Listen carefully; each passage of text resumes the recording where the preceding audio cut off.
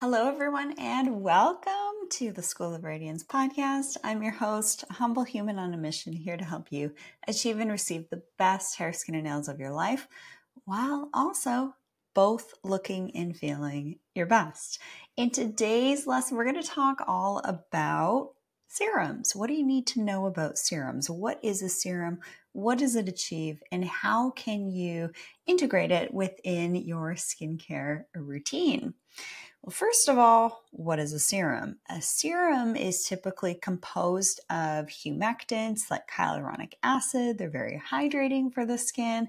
And a nuance to know about hyaluronic acid is that there's different sizes of this hyaluronic acid molecule. And the size needs to be the right size so that it can actually do its thing on the skin.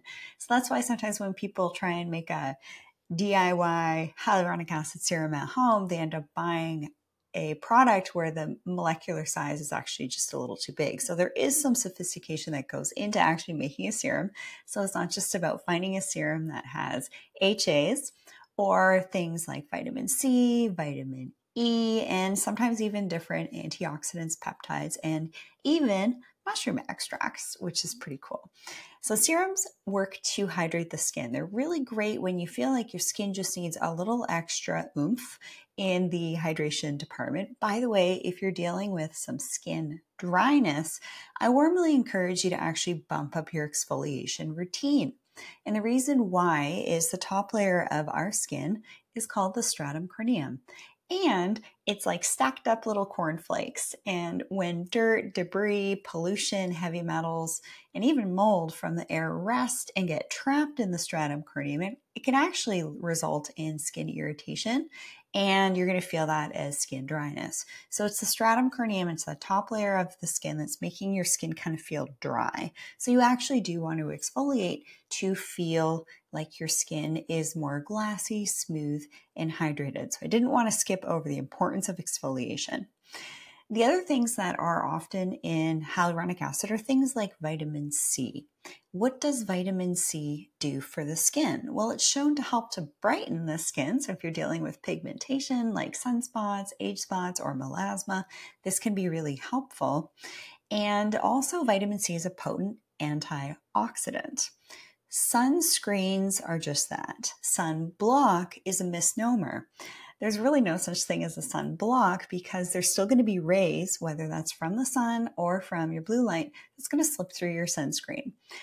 What these vitamin C and other antioxidants do in your moisturizers or in your serum do is they actually gobble up the free radicals that get formed from exposure to things like ultraviolet radiation from the glorious sunshine or from blue light. But we also get these different types of rays, which is actually heat. So if you're outside and it's really hot, yes, even heat can be harmful to the skin. But then you're probably thinking, well, what about saunaing? Well, this is a shorter duration of heat and the heat from the sauna is stimulating something called hormesis, which is then telling your body to basically repair itself. So saunaing and heat, I do like that. However, if you're dealing with hyperpigmentation or melasma, you actually might want to avoid the heat. But if you still want a sauna, then what you can do is the Sunlighten sauna. The Sunlighten company makes, I think, the best saunas in the world, and they have a solo sauna. This is actually the one that I have. And I like this because my head and neck is actually exposed from the sauna. So it's uh, outside of the sauna. It's kind of like this like dome that you slide in. It's very different than those saunas that you zip up to your neck. I find that the heat with those it's not really distributed evenly and so that's the Sunlighten solo sauna. So if you're dealing with hyperpigmentation concerns, you still want the benefits of saunaing, then the solo sauna is helpful for you. And you can actually get that on my biohacking page and just simply reach out to the company, let them know what your concerns are, what your budget is, what it's like in your home. Do you need to have an electrician install a particular outlet? Or are you renting and do you want to just be able to plug and play? There's a number of different options on the market. Sunlight is my favorite. So these compounds that are antioxidants are really important. So, really good moisturizers and serums are going to have these. And what's also important to consider is is that product kept stable? What is the final outcome and testing on the final formulation? It's not just about buying a serum that has, you know, those hero ingredients that you've heard me talk about, like hyaluronic acid, vitamin C, vitamin E, other antioxidants, other peptides. We really care is that vitamin C actually kept stable? Did you know that when you take an apple out of the refrigerator or from your counter and you cut it in half, the apple, the pulp of the apple, the white part, when exposed to air, will oxidize. And this actually can happen to vitamin C as well in serums if it's not kept stable. So, in a really good vitamin C serum, there are going to be some different agents in that serum product to actually make sure that that vitamin C isn't going rancid if you are using a serum right now that's sort of like hippy dippy, made in someone's kitchen and sold, uh, you're probably seeing lots of advertising for this. I see this a lot with lower quality products. I mean, there's nothing wrong with making your own products for your body, but when it comes to mature skin needs and really desiring to reduce pigmentation and protect the skin and protect the collagen, you do want to make the switch to more medical grade or practitioner grade products, which is what I offer on my skin shop. So there's a science that goes into making sure that that vitamin C is kept stable so it doesn't oxidize and actually become a free radical on your skin because I don't want you to be paying for something and it's actually harming your skin and also wasting your time and money.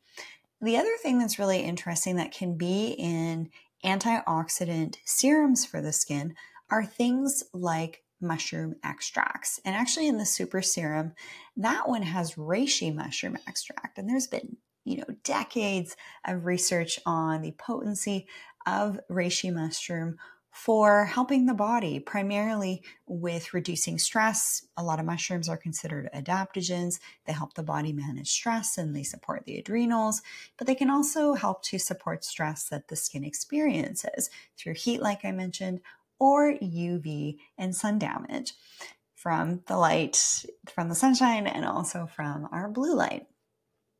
What else do you need to know about serums? Well, first of all, how do you use it? Where does it get applied in your skincare routine?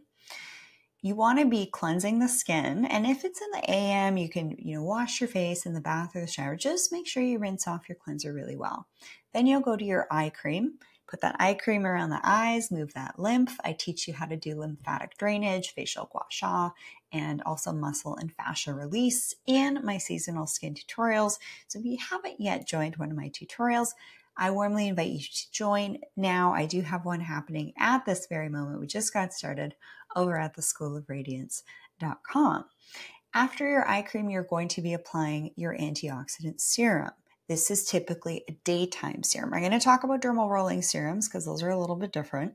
But for a daytime antioxidant serum, you wash your face, apply your eye cream, apply your serum, and then maybe you'll apply your neck cream, your moisturizer, your sunscreen, and then your makeup. I know that that can sound like a lot of steps. Like, how long is that really going to take? My skincare routine honestly takes me moments. It takes me about three minutes max. It's going to take a little bit longer if I'm doing a scrub, which I'll sometimes do either in the AM or the PM. So today I did my scrub, and that's why my skin is just extra glassy. I have a, an event this afternoon to get to.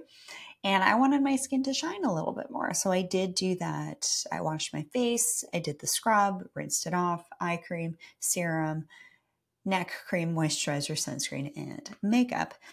And if you're curious about, you know, how to actually apply your products as well, like how much do you need to use, I do have write-ups on my skin shop for every product that's on there with directions for use and my tips and tricks. And they can actually see me do it in my tutorials as well. I am a huge fan of utilizing antioxidant serums, especially when it's more sunny outside, because we do want this extra added protection to gobble up those free radicals that can get formed. And from the different rays from the sunshine or blue light that slip through your sunscreen, even if it's like a 20% zinc sunscreen, it's not a block, it's a screen, remember. So having different agents like this in your antioxidant serum is really important. So, serums are going to give you added protection, they're also going to give you added hydration. Now, I do want to talk about the nuances with serums here. Say, for example, you're acne prone. You're going to want to be using a serum that's a little bit more designed for acne care. And I have a number of different acne serums on my skin shop as well. If you're wanting to focus on skin redness, I do have a particular one. It's called the Pro Health Serum. That one's great for helping to reduce redness and inflammation. It's helping to heal the skin. It's actually kind of a cool name. The Super Serum keeps the skin feeling a little bit kind of like tight. And my more mature clients really like the serum because it gives that tightness feel and also is going to have the vitamin C, vitamin E, reishi mushroom extract, and other things as well. If you're looking for one that's really going to hydrate the skin, that's going to be the C and E peptide on my skin shop and it comes in three bottles with one dropper and actually the vitamin c crystals are kept separate from the solution so you're always uh, after 15 mils of the serum you simply go to the next container take that white cap, push down on it, and it's going to release those vitamin C crystals into the solution so it's fresh, which is actually kind of a cool and innovative idea. The C and E peptide serum, that one I wouldn't necessarily go for if you're acne prone because there is some information that suggests that having a lot of vitamin E in your skincare can actually create a little bit more acne. So the CNE peptide and the super serum are excellent serums for just overall antioxidant protection and hydration. Now, if you're more on the mature skin spectrum, you have really dry skin, you got those fine lines and wrinkles, then the serum, the youth serum, the one that has the word youth in front of it, and the youth eye complex and the youth moisturizer, those are going to be geared for skin that I would say is a little bit more like 50 and up, where there's maybe some deeper fine lines, wrinkles, and more skin dryness as well. So that's in a nutshell how you use your serum. There's also one other product I want to mention. This is the Bright and Clear Solution. This I kind of have on my skin shop with the word toner. It's not actually a toner, it has lactic acid in it and other brightening agents. Lactic acid hydrates the skin. I also did a full body lactic acid peel uh, right as I was getting ready today, and I actually teach you about different peels and how to skin cycle your retinols and your serums alongside your routine. I have a specific lesson on that in my tutorial. So, a really high level uh, lesson on teaching you, you know, what night you're going to do this, what night you're going to do that, what night you're going to do that. And we're just keeping this to serums here for the AM serum. So, the bright and clear solution, just put, um, you know, one or two squirts of it in the palm of your hand and apply it to the face, neck, and chest. And just a reminder whatever you're doing to the face, I warmly encourage you to do to the neck, the sides of the neck, and the entire chest area, and even get some of that product on the inner arms and also on the hands. Now, when it comes to other serums like dermal rolling serums, there's two serums in particular that I recommend alongside dermal rolling, and this is a copper peptide and also a vitamin C. Now, something that's important for you to know with dermal rolling, again, that's something I teach in tutorials exactly how to do it, how to apply your products afterwards, how to clean it, the technique, all of that, how many times a week, that's all covered in there. But the copper peptide and the, the soluble C serum, I really want you to reserve those serums for your nighttime dermal rolling. So you'll wash your face, do your rolling, and then apply that copper peptide and soluble C. Why not use those serums during the daytime? They don't have the same slip or glide or hydration capacity as the other daytime antioxidant serums that I mentioned. Now, depending when you're listening to this episode, some of my recommendations may have changed. So, for my updated recommendations, you're going to want to book that one on one as soon as possible. I don't know how long I'm going to be offering them, and also join my tutorials for that deep dive overview more on things like serums. I hope that you got a lot out of today's episode here on the School of Radiance podcast. I'm sure that now you have a little bit more clarity there is a bonus tip I want to mention. If you are dealing with hyperpigmentation or melasma, and in the spring, summer, it kind of rears its ugly head a little bit, or if it's really related to hormones, obviously get your health on point, reduce oxidative stress. But there are actually some lightening products that I also have on my skin shop, and that's actually the lightening lotion, which contains something called hydroquinone. And you would essentially use this lotion and then put, put your moisturizer on over top. So you're kind of using it like a serum. It's a little thicker, but it's a 2% hydroquinone.